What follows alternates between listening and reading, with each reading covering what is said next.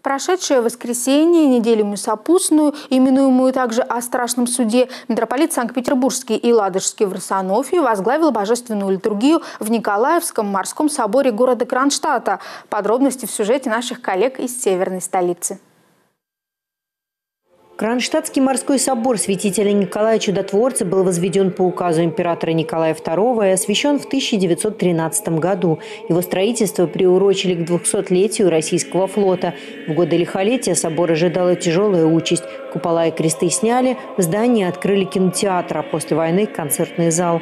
Былое великолепие собору вернули уже в 21 веке. И с 2013 года он стал главным храмом военно-морского флота России.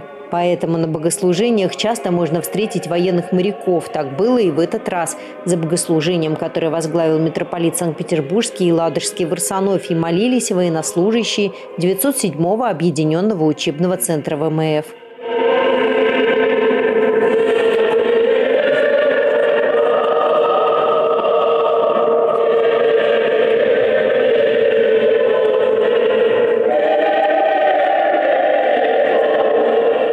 Во время проповеди владыка Варсонофий поздравил всех с неделями сопустной о страшном суде и напомнил, как много вокруг нас тех, кто нуждается в нашей любви. Если вы будете любить друг друга, оказывать внимание друг другу, помогать, то вы окажетесь в числе овец по правую сторону.